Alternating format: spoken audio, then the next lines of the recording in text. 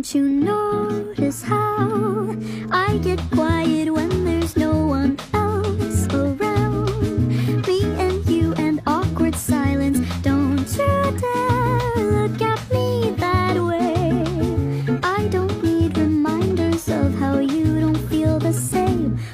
5 rekomendasi tas buat sekolah. Dijamin ini yang kamu cari. Yang pertama ada Cigu Backpack. Tas ini paling simple tapi muat banyak banget. Ada satu kantong depan, dua kantong samping, dan udah pasti kantong rahasia. Bagian dalamnya juga masih ada satu kantong. Bisa muat laptop sampai 15 in. Dan tahu nggak sih, ini tasnya water repellent loh. Yang kedua, bagi yang nggak suka tas simple, mending pakai yang versi premiumnya. Namanya Cigu Fold 2. Kurang lebih sama kayak tas sebelumnya, tapi yang ini kantongnya lebih banyak. Bagian dalamnya aja itu total ada 4 kantong. Terus ada juga gantungan buat kunci. Pengen kelihatan simple tapi banyak kantong, berarti ini cocok buat kamu. Yang ketiga, ini bahannya beda dari yang lain. Ada aksen garis-garisnya gitu dan halus kalau dipegang karena dia pakai corduroy. Namanya adalah Ogi Backpack. Kelihatan simple tapi tetap kece gitu. Dan kalau dibuka ternyata banyak kantongnya dong. Ada penahan laptop juga, misalnya kalian tuh mau bawa laptop. Dan ini yang paling aku suka, dia ada slot botol minumnya di dalam. Jadi sebenarnya kalian bisa nyimpan botol minum di luar ataupun di dalam. Udah deh kalau kalian pakai ini, cakepnya kalian tuh bakal makin nambah gitu. Yang keempat, tas-tas tadi kebesaran. Kalau gitu kamu pasti suka tas yang ini. Namanya Obito Backpack. Dia termasuk tas medium, nggak terlalu besar atau nggak terlalu kecil. Dan menurut aku ini tas medium yang paling komplit ya. Karena kalian tuh harus tahu, tas ini punya dua ruang utama. Dan di ruang utama kedua, kantongnya pun juga banyak banget. Jadi kalau kalian bawa barang itu kesannya lebih rapi karena bisa dipisah-pisahin. Walaupun medium tapi cocok banget dibawa sekolah karena masih muat laptop sampai 13 in. Plus tahan air juga loh. Pengen yang komplit tapi tasnya besaran dikit deh. Oke lah, berarti kalian harus pakai ini. Namanya adalah Kyo Backpack. Kalian tahu tasnya ini totalnya ada berapa kantong? 11 kantong. Dan tas ini juga sama kayak tas sebelumnya. Ada dua ruang utama. Pastinya ruangnya lebih lebar karena tasnya lebih besar. Bahkan laptop 15 inch aja bisa masuk. Kalian pulang sekolah sampai sore. Udah deh, tas ini cocok banget buat kalian karena ada ruang sendiri bisa buat nyimpen baju ganti. Oke guys, itu dia 5 rekomendasi tas buat sekolah. Kalian lebih suka yang mana nih? Jawab di kolom komentar ya. See you.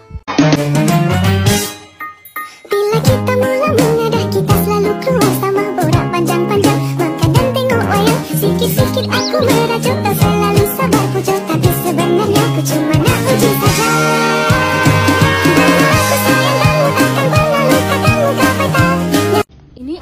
gimana bentuknya dah? Dikirimin tas sama Besti yang katanya aku banget, katanya aku bakal suka deh sama tasnya. Pas aku buka, hmm, tunggu tunggu. Ini gimana bentuknya dah? Oh, kayak gini ternyata. Unik banget. Kok bisa sih dia nemu tas kayak gini? Iya sih, aku suka banget sama bentuknya. Beda dari yang lain gitu. Kalau kayak gini mah aku juga pengen kirim tas ke dia. Thank you banget deh buat bestiku yang paling pengertian. Aku happy banget.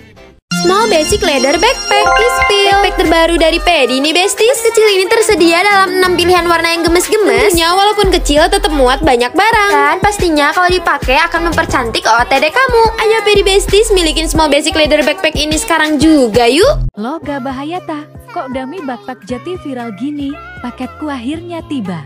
Setelah sering banget kehabisan dami backpack, pantes pada gercep soalnya bagus banget. Intip isi tasku yuk.